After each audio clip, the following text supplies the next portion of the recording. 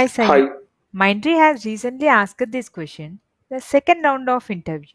Can you explain? Okay. Here we are using comparison operator between two strings. In JavaScript, whenever we use a comparison operator between two strings, then JavaScript engine will not convert this into numbers.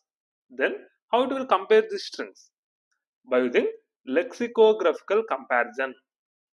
So what is this lexicographical comparison? Here it will compare these two strings character by character by using Unicode order. So the first character in this string will be 2. The first character in this string will be 1. So 2 is converted into the Unicode value that is 50. 1 is converted into the Unicode value that is 49. As 50 is greater than 49, it will return true. In the second line, we are using comparison operator between a string and a number. So JavaScript engine will convert this string into a number 2. So our expression will become 2 is greater than 10, which will return false.